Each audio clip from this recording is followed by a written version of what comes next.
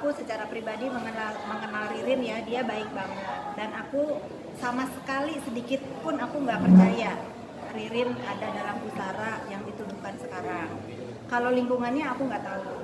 Kadang-kadang kan kita memang harus pilih-pilih teman yang kayak apa ya, se- seperti nasihat orang tua itu begitu ya.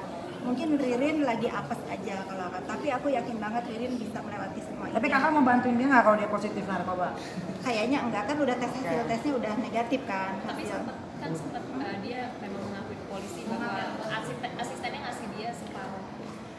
itu aku belum ketemu sama Ririnnya, tapi aku lihat dari berita dari Pak Polisi juga bilang bahwa Ririn negatif dan barang-barang itu bukan punya Ririn. Eh, aku percaya itu aja sih, Ririn aku yakin banget dia nggak nggak pernah melakukan itu. Benar kakak percaya? Iya iya, percaya.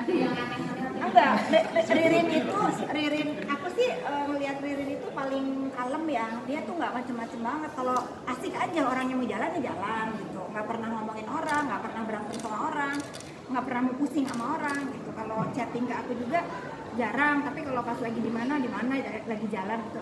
Enjoy aja orangnya tuh enjoy aja. tapi di rumahnya kan juga ditemuin tujuh butir sanak Nah, Eh, gini, mana tuh kak? digabung sama obat-obatan suaminya sih Ayo lu.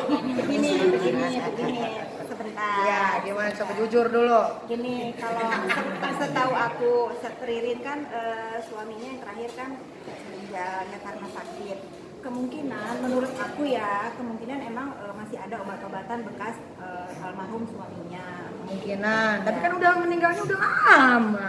Aku orang tua aku meninggal nggak pernah dibuang loh. Kakak aku meninggal juga masih ada dalam Positif thinking. Positif thinking. Jadi aku sekali lagi sebagai temannya Ririn, aku masih yakin Ririn eh, bebas narkoba. melakukan itu. tapi Yakin dengan, ya? dengan obat separuh itu kan ada ada separuh obat yang diminum sama Ren dua atau tiga hari yang lalu katanya makanya itu yang bikin negatif Nah, aku nggak bisa jawab itu karena belum ketemu kan, belum dengar juga dari teman-teman deket juga tadi eh, apa kita diskusi mengenai mau ke mana, eh, bingung kan ke mana tahu-tahu kan. Sekarang di- Ririn ada di mana? Lido Berarti tunggu kelanjutannya dari Lido. Biasanya kalau dari Lido kan panjang tuh prosesnya, ada rambut, ada darah, ada apa. Udah balik, udah balik Polres Tapi. Tri, berarti, eh, berarti teman-teman Ririn memang eh, udah apa terus memantau soal kasusnya Ririn sekarang.